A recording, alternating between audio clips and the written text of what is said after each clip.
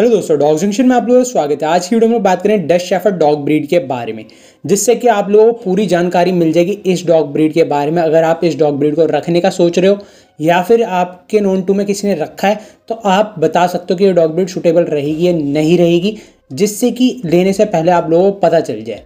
बाकी आप एक और इन्फॉर्मेशन मिस करना बिल्कुल भी पसंद नहीं करोगे सब्सक्राइब बटन को क्लिक करके नोटिफिकेशन को ऑल पे सिलेक्ट कर लेना, जिसके चलते आप फ्यूचर में आने वाली वीडियोस को बिल्कुल भी मिस ना कर पाओ। वीडियो को स्टार्ट करते हैं। सबसे पहले हम लोग बात करेंगे इनके इंटेलिजेंस के। इंटेलिजेंस के मामले में डॉग ब्रीड काफ़ी ज़्यादा इंटेलिजेंट होती है।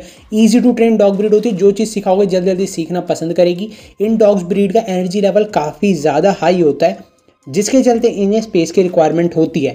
अपार्टमेंट के लिए बिल्कुल भी सूटेबल डॉग ब्रीड नहीं है। अगर आपका फार्म हाउस है या फिर आपके पास बड़ी ज़मीन है, वहाँ की गार्डिंग के लिए डॉग ब्रीड देख रहे हो तो ये डॉग ब्रीड आपके लिए एक अच्छी चॉइस साबित होगी लेकिन आपको अपने घर की फेंसिंग को ऊपर करना पड़ेगा उस केस के अंदर, वरना ये वहाँ से लांग के दूसरी तरफ़ निकल जाएगी और आपको पता नहीं चलेगा। ये डॉग ब्रीड काफ़ी ज़्यादा एग्रेसिव भी हो सकता है अगर आपने ढंग से सोशलाइज ना कराओ तो। इन डॉग्स के लिए सोशलाइजेशन हद से ज़्यादा इंपॉर्टेंट होती है। दूसरे डॉग के कंपैरिजन में, क्योंकि इनका एनर्जी लेवल एग्रेशन लेवल दूसरे डॉग से थोड़ा ज़्यादा होता है, जिसके चलते मिलिट्री इन डॉग ब्रीड को इस्तेमाल करना काफ़ी ज़्यादा पसंद करती है। अगर आप इस तरीके की डॉग ब्रीड रखना चाह रहे हो तो पहले आप इस चीज़ का ज़रूर ध्यान देना कि आप अपने डॉग को प्रॉपर टाइम दे सकते हो और आप एक ट्रेनर को हायर कर सकते हो। क्योंकि इन डॉग्स के लिए ट्रेनर की रिक्वायरमेंट होती है जो कि इन्हें डेली नई चीज़ें सिखा सके। हम कुछ गिनी चुनी चीज़ें सिखा के फिर रुक जाते हैं, जबकि जो ट्रेनर होगा वो डेली डेली इन्हें नई चीज़ सिखाएगा, इन्हें एक्सरसाइज कराएगा, जिसके चलते इनका मेंटल और फ़िज़िकल दोनों तरीके से इनकी एनर्जी बर्न हो और ये शांत रहें, घर के अंदर ज़्यादा शैतानी ना करें। बच्चों के साथ रखने के लिए अच्छी डॉग ब्रीड है। शर्त यह है, आपको इन्हें बचपन से ही बच्चों के साथ रखना पड़ेगा। या बच्चों के साथ ढंग से सोशलाइज कराओ तो आपको बिल्कुल भी प्रॉब्लम नहीं आएगी। इंटेलिजेंट हद से ज़्यादा होती है जिसके चलते आपको इन्हें चीज़ें सिखानी पड़ेगी, जैसे कि मैं आप लोगों को बताए जा रहा हूँ। इन डॉग ब्रीड की ग्रूमिंग काफ़ी ज़्यादा कम हो जाती है इनके शॉर्ट कोट के चलते, लेकिन इनमें लॉन्ग कोट भी मिलता है, जिनमें आपको ग्रूमिंग में थोड़ा सा ज़्यादा टाइम स्पेंड करना पड़ सकता है। ये डॉग ब्रीड जनरली हद से ज़्यादा हेल्दी होती है मतलब इनके अंदर आपको हेल्थ प्रॉब्लम देखने को काफ़ी कम मिलेंगी और काफ़ी ज़्यादा एनर्जेटिक एक्टिव डॉग ब्रीड होती है। तो इसके चलते काफ़ी अच्छी लगती है कई लोगों को जो गार्डिंग पर्पस लेते हैं या फिर जो मिलिट्री होगी, इस चलते इन्हें इस्तेमाल ज़्यादा करती है, क्योंकि ये कहीं से भी कूद फान जाती है। इनकी लाइफ स्पैन ज़्यादा अच्छा होता है इंटेलिजेंट डॉग ब्रीड होती है, जल्दी चीज़ें सिखाई जा सकती है और हेल्थ इशू इनके अंदर ना के बराबर होते हैं। मतलब वही हेल्थ इशू होते हैं जो कि एक जब डॉग बुज़ुर्ग हो जाता है, तब उसके अंदर देखने को मिलते हैं। Hip dysplasia elbow dysplasia generally ये हेल्दी होते हैं, इनके अंदर काफ़ी कम प्रॉब्लम देखने को मिलती है, क्योंकि इनकी ब्रीडिंग खाली कुछ गिने चुने लोग ही करते हैं ओवर ब्रेड नहीं करा जाता, इन्हें German shepherd Rottweiler Labrador की तरह, इनकी खाली कुछ गिने चुने बंदे ब्रीडिंग करते हैं, जिसके चलते ये हेल्दी ही रहते हैं नाइन्टी नाइन परसेंट और इनका प्राइस काफ़ी ज़्यादा होता है। बाकी डॉग के कंपैरिजन में अगर आप लोग इनका प्राइस के बारे में बात करोगे तो इनका प्राइस वेरी करता रहता है। लेकिन अगर मैं आपको स्टार्टिंग प्राइस बताऊँ तो थर्टी फोर्टी थाउज़ेंड से आपको एक पपी स्टार्ट हो जाता है।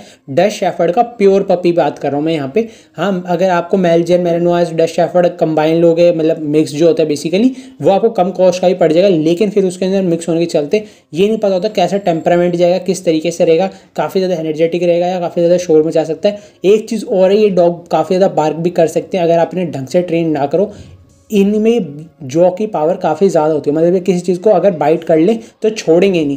तो इसके चलते आपको इन्हें कमांड ज़रूर सिखानी पड़ेगी लीव की नो की। जिसके चलते घर में उछल कूद ना करें, ज़्यादा चीज़ें काटे कूटे ना, और आपकी बेडशीट भी फाड़ सकती है। तो इस चीज़ का ज़रूर ध्यान रखना। पहले से अपने डॉग को ट्रेनिंग आपके हाथ में देना, उसे चीज़ समझाना। आप ये मत सोचना, ये जल्दी नहीं सीख रहा है या फिर काफ़ी ढीट टाइप का।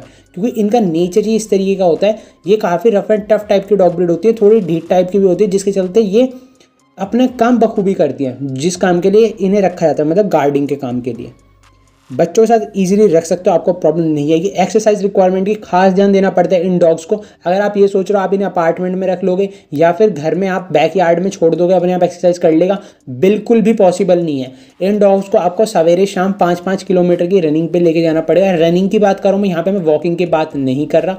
इनका एनर्जी लेवल हद से ज़्यादा होता है। तो आपको इस चीज़ का ध्यान रखना पड़ेगा या फिर आप डिस्क थ्रो का गेम खेल सकते हो, फैचिंग खेल सकते हो, इस तरीके से अपने डॉग को नई नई चीज़ें भी सिखा सकते हो और साथ में उसके साथ खेल भी सकते हो, जिसके चलते उसकी एनर्जी बर्न हो जाएगी, घर में वो शांति से रहेगा। बाकी रखने के लिए डॉग ब्रीड अच्छी है, लेकिन बात यहीं पे आके ख़त्म हो जाती है कि आपको इसके लिए काफ़ी ज़्यादा टाइम निकालना पड़ेगा और एक ट्रेनर भी हायर करना पड़ सकता है। तो वो आप लोग देख लो, अगर आपको सही लगती है तो आप इस डॉग ब्रीड की तरफ़ जा सकते हो, वरना और भी कई सारी डॉग ब्रीड हैं जो कि आपका काम बखूबी कर देगी जिस चीज़ के लिए आप देख रहे हो। लेकिन हाँ अगर आप बिल्कुल हार्ड कोर डस्ट शेफर्ड के फ़ैन हो तो ये वीडियो शेयर कर देना अपने यार दोस्तों के साथ और कमेंट में ज़रूर बताना कि आप ये डॉग ब्रीड लेना पसंद करोगे या नहीं करोगे। बाकी और भी कोई वीडियो की अगर आपको रिक्वायरमेंट है, जो आप देखना चाहते हो तो आप कमेंट कर सकते हो। मैं कमेंट हर किसी के पढ़ता हूँ। रिप्लाई करना कई बार पॉसिबल नहीं होता, जिसके चलते नहीं कर पाता।